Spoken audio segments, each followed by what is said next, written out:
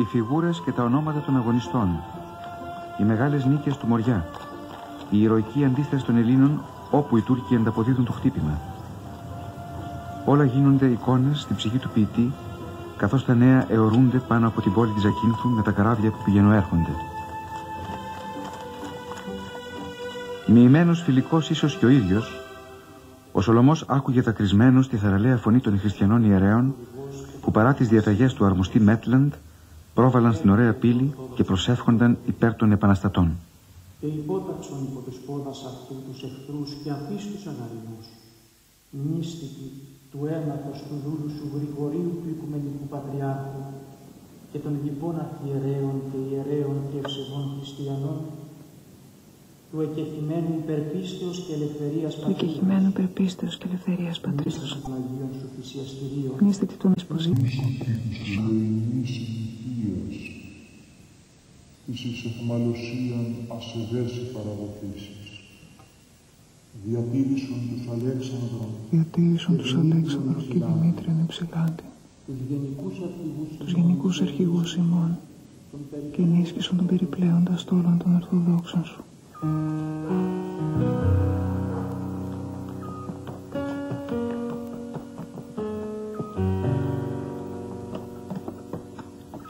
σκιές της νυχτερινής συνάντησης με τον Τρικούπη, 34 χρόνων τότε. Γίνονται μάρτυρες μιας στενής φιλίας που αρχίζει ανάμεσα στα πρόσωπα και μια ουσιαστική αφορμή για την εξέλιξη της ολομικής ποίησης και έμπνευσης.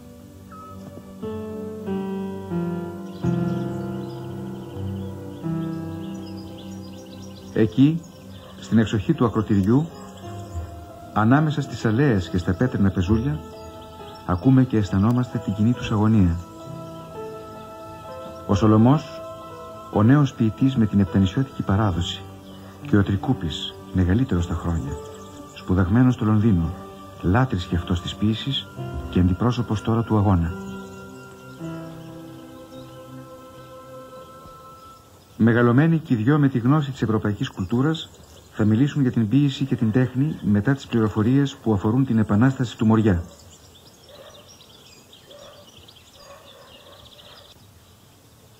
Κάποια στιγμή ο Σολομός θα απαγγείλει στον Τρικούπη την Ιταλική του οδή περπρίμα μέσα για πρώτη λειτουργία διστάζοντας να παρουσιάσει τα ρομαντικά ελληνικά γραπτά του αλλά ο ευφυής Μεσολογγίτης αντιλαμβάνεται το μεγάλο ταλέντο που ασφιχτεί δίπλα του. Ο Σολομός Έμενα σκεπτικός και σιωπηλός, με ερώτησε την γνώμη μου. Η ποιητική σας ιδιοφυΐα, κόντε μου, στα σίγουρα θα σας εξασφαλίσει μια πολύ καλή θέση στον Ιταλικό Πανασό. Αλλά τις πρώτες θέσεις τις έχουν κατακτήσει κιόλας άλλοι. Ο Παρνασσός όμως της νεότερης Ελλάδας Περιμένει ακόμα να συναντήσει το θάνατο. Κατέτησήν του δε, του εξέθεσα τότε τα της γλώσσης και της φιλολογίας μας. Τα ελληνικά δεν τα εξεύρω, μου λέει. Πώς θα εμπορούσα να γράψω κάτι καλόν. Πράγματι δεν εγνώριζε. Η μιλία να τελώσει και αυτήν την ομιλουμένη.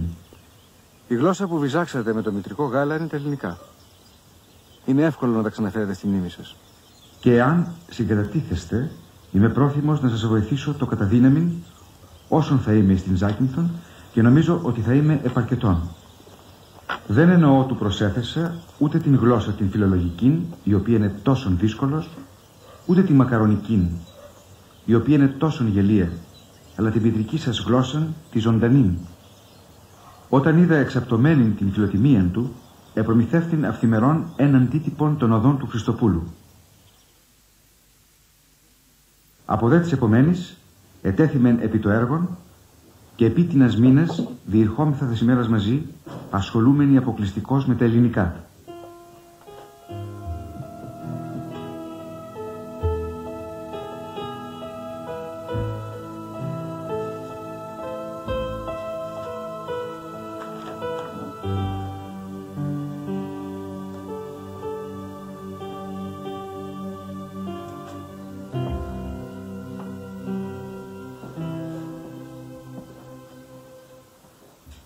Εβδομάς δεν είχε παρέλθει από τις πρώτες συνομιλίες μας και ο Σολομός με εξέπληξε απαγγέλων μου ενάσμα εις γλώσσαν ελληνικήν. Την είδα την Ξανθούλα, την είδα όταν αργά εκίνησε η βαρκούλα να πάει στην ξενιτιά. Ήτο το πρώτον του σύνθεμα στην γλώσσα αυτήν. Μόλις έγινε γνωστόν, οι πάντες εις την Ζάκυνθον το ετραγουδούσαν. Εσπέραν τεινά οι συμπατριώτες του ήλθαν πολυπληθείς και το τραγούδισαν υπό τα παράθυρά του. Συνεκινήθη εκ τούτου βαθύτατα.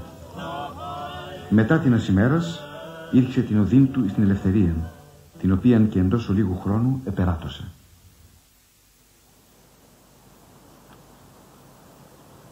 Ο Σολομός, άξιος μελετητής της προφορικής παράδοσης και της κοινής ελληνικής γλώσσας, υλοποιεί την ιδέα που με την όθηση ίσως και του τρικούπι στέργιωσε μέσα του.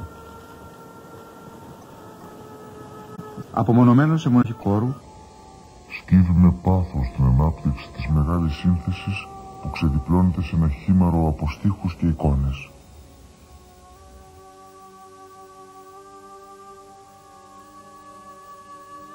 Τον Μάιο του 1823, ενώ απέναντι το Μεσολόγγι έπαιρνε μια νικηφόρα ανάσα από την πολιορκία του Ομέρ Βριώνη, ο ποιητής γράφει σχεδόν σε ένα μήνα τις 158 στροφές του ύμνου. Σε γνωρίζω από την κόψη του σπαθιού την τρομερή.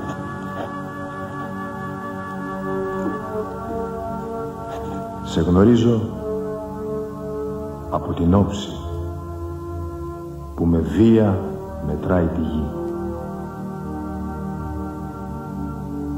Απ' τα κόκαλα βγαλμένη των Ελλήνων τα ιερά. Σε γνωρίζω από την κόψη του σπαθιού την τρομερή. Σε γνωρίζω από την όψη που με βία μετράει την γη. Απ' τα κόκαλα βγαλμένη των Ελλήνων τα ιερά και σαν πρώτα ανδριωμένη χαίρε, ο χαίρε ελευθεριά. Εκεί μέσα εκατοικούσες πικραμένη, εντροπαλή και ένα στόμα ακαρτερούσες, έλα πάλι να σου πει. Άργε να έρθει εκείνη η μέρα και ήταν όλα σιωπηλά γιατί τάσκιαζε η φοβέρα και τα πλάκωνε η σκλαβιά. Ελλήνων τα ιερά και σαν βρότα ανδριωμένη χαίρε, ο χαίρε ελευθεριά. Της Κορίνθου η και η κάμπη δε λαμπίλιος μοναχά εις τους πλάτανους δε λάμπει εις τα μπέλια εις τα νερά.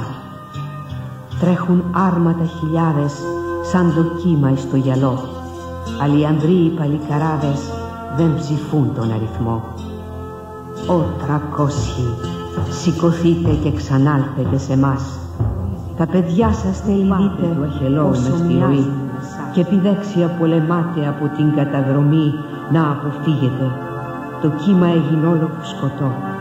Εκεί ευρήκατε το μνήμα πριν να ευρείτε αφανισμό.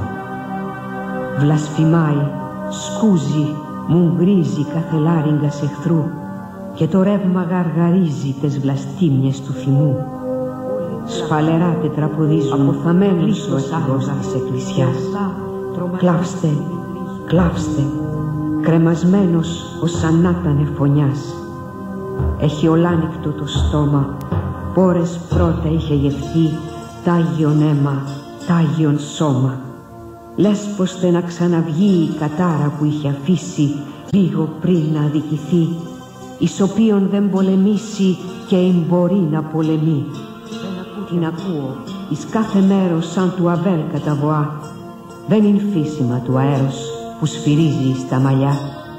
Τι θα κάνετε, θα αφήσετε να αποκτήσουμε εμείς ελευθερία ή θα την λύσετε εξαιτίας πολιτικής σοβαρά να σοπάσω με προστάζει με το δάκτυλο. Ιδού εμπρός σας τον σταυρό.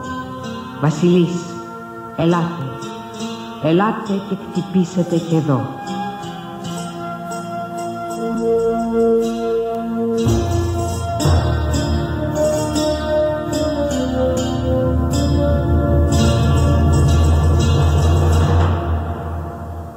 Ο ύμνος εις την ελευθερία γίνεται αμέσως γνωστός και ανυψώνει τον Σολομό σαν εθνικό βάρδο. Οι οκτασύλλαβοι και επτασύλλαβοι στίχοι αντιγράφονται από διαφόρους και κυκλοφορούν χέρι με χέρι. Οι πρώτες στροφές μαθεύτηκαν σε λίγες μέρες και αντιχούσαν στους δρόμους της Ζακίνθου μελοποιημένες από αυτοσχέδιους μουσικούς. Σε γνωρίζω από την κόψη του σπαθιού την τρομερή. Σε γνωρίζω από την όψη που με βία μετράει τη Απ' τα κόκαλα βγαλμένη των Ελλήνων τα ιερά και σαν πρώτα εμβριωμένη χαίρε, ο χαίρε ελευθεριά. Εκεί μέσα κατοικούσες, πικραμένη, εντροπαλή, ένα στόμα καρτερούσες. Έλα πάλι. Των Ελλήνων τα ιερά και σαν πρώτα εμβριωμένη χαίρο χαίρε ελευθεριά. Εκεί μέσα κατοικούσες, πικραμένη εντροπαλή και ένας Παντού Μικροί και μεγάλοι τραγουδούσαν και συζητούσαν με ενθουσιασμό το ποίημα.